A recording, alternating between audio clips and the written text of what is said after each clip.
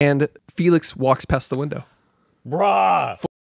Saltburn is packed with subtle details that foreshadow Oliver's real intentions. But there's a genius yet easy to miss detail that foreshadows Felix's tragic fate. Among the best movies of 2023 is the black comedy psychological thriller Saltburn. Saltburn has been a hit with critics and general audiences, more so after its quick arrival to streaming thanks to Amazon Prime Video. And with a wider audience, comes closer attention to the many hidden details throughout the movie.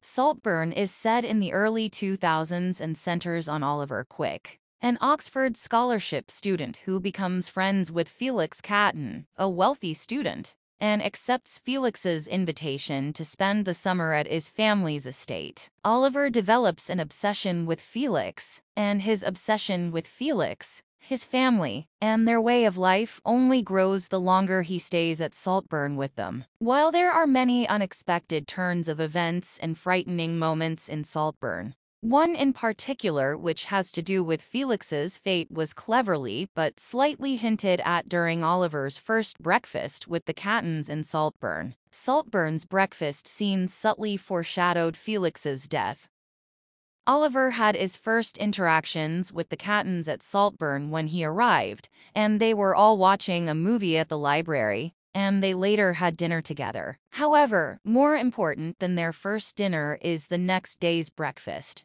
where, after an awkward moment between Oliver and Duncan, the butler, Felix tells Oliver they were talking about the biography of poet Percy Shelley, with Venetia sharing the story of his housekeeper, who saw Shelley's doppelganger. According to Venetia, the housekeeper saw Shelley walk past the window, and he waved at her, and when the housekeeper waved back at him, she remembered she was on the top floor, and Shelley was in Italy. Hours later, Shelley drowned.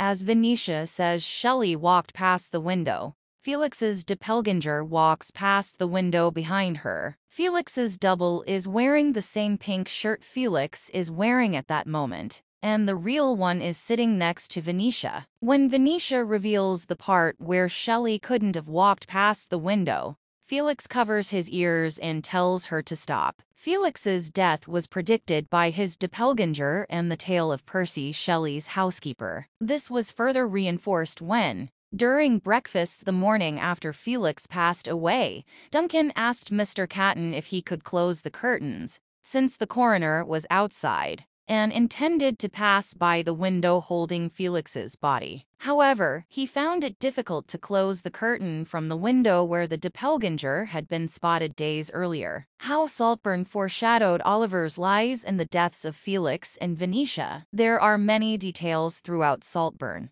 that foreshadow Oliver's intentions and the tragic fates of the Cattons, particularly Felix and Venetia. At different points in Saltburn, Oliver's reflection is shown, either in fragments caused by lighter mirrors and in some scenes. Like one of the dinners at Saltburn, his reflections don't match. When Oliver throws a rock into the river in honor of his supposedly deceased father, as Felix told him it was a tradition in his family, the rock doesn't fall into the river and lands on the side, hinting at Oliver's lies, as it's later revealed his father is alive and well. As for Venetia and her death, during the breakfast scene after Felix's death, when Duncan is closing the windows, Venetia pours wine into her cup, and it overflows, but she doesn't stop and this scene ends up mirroring her death in the bathtub after slitting her wrists. Many of Saltburn's little details are easy to miss, inviting the audience to rewatch the movie a couple more times.